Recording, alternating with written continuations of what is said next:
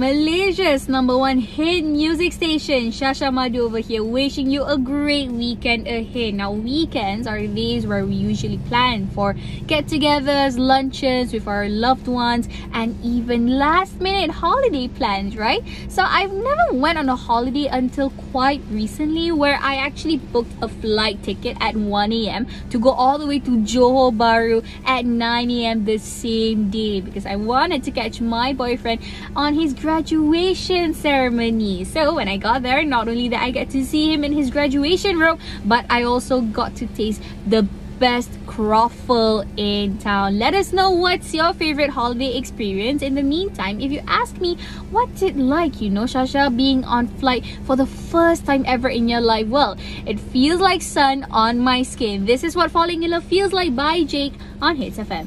HITZ FM, Malaysia's number one hit music station. Tate McRae, you broke me first. Now, I don't know about you, but that really brought me back to my first love.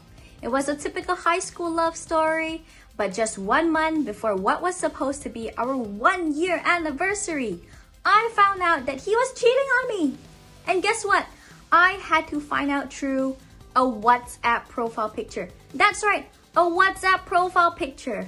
You know, I was heartbroken. I mean, who wouldn't be? But it's been a few years, I moved on, and I genuinely hope that he's doing well out there. So, Kai, if you're listening to this, Good for you, Olivia Rodrigo, HITZ FM. HITZ FM, Malaysia's number one hit music station. Introducing drum rolls, please. Joshua. Yo, it's been a dream to be here on HITZ FM. Speaking of dreams, I've always wanted to be a professional prankster. Yup, you heard that right. Pranking people and puppies, that's my hobby, man. That's my hobby. I've been pranking people since I was a child, man. Gotcha was always my inspiration and my guideline to prank others. Yo, all my pranks, right? I planned them six months prior, seven months prior.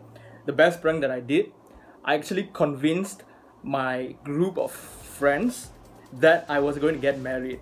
So the pranking like took place like from the first month, the second month, to the third month, to the fourth month, all the way to the part where I actually got married in my imagination. and the second prank that I did on someone was my friend back when I was in primary school.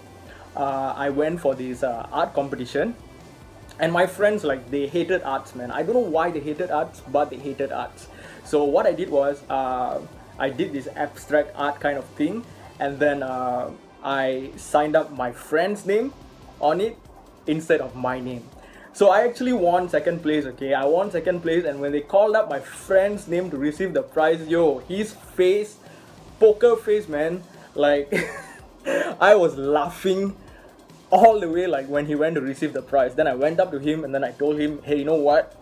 You can keep the name, you can keep the title, but give me my prize. So I took the prize, and I still, I still have that prize until today. And uh, the best part about pranking, I was actually paid to do it at Night of Fright Sunway. So here is Justin Bieber on HITZ FM. HITZ FM, Malaysia's number one hit music station. Simran here, and I have a question for you guys. So, have you guys ever just wanted to escape from all the stress from your work or even school? Well, one really good way to do that is through hobbies. So I really enjoy baking, but honestly, when I first started, I wasn't exactly the best baker around, and I might have almost accidentally set my mom's kitchen on fire. Sorry, mom. And half of the things I made, honestly, I wouldn't say it was edible.